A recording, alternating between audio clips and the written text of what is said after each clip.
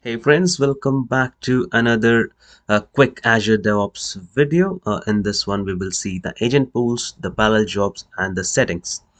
So if you uh, go on the project settings, you will uh, under the pipelines, you will see agent pools.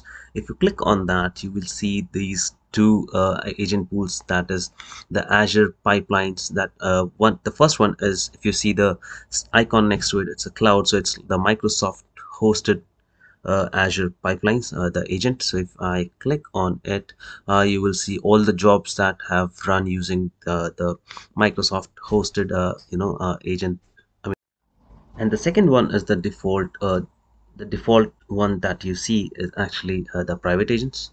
So if I go to our Azure pipelines, the Microsoft hosted ones, you see the jobs if I go to the default uh, I don't have any private agents installed.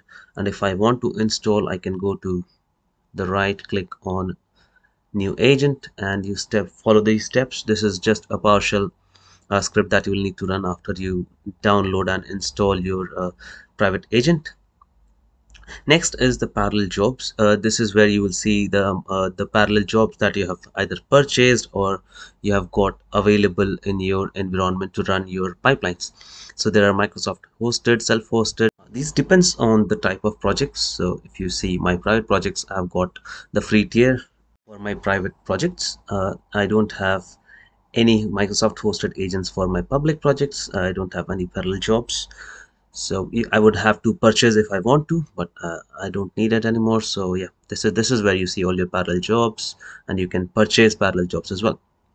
If you go to settings uh, this is where you will see all the you know uh, uh the settings for your artifacts and any attachments what the retention policies and this is also where you can you know disable uh, creation of classic build pipelines and classic release pipelines so if you have to i mean i would recommend uh, that since uh, these are probably going to get deprecated you should disable the creation of these uh, uh classic build and classic uh, release pipelines.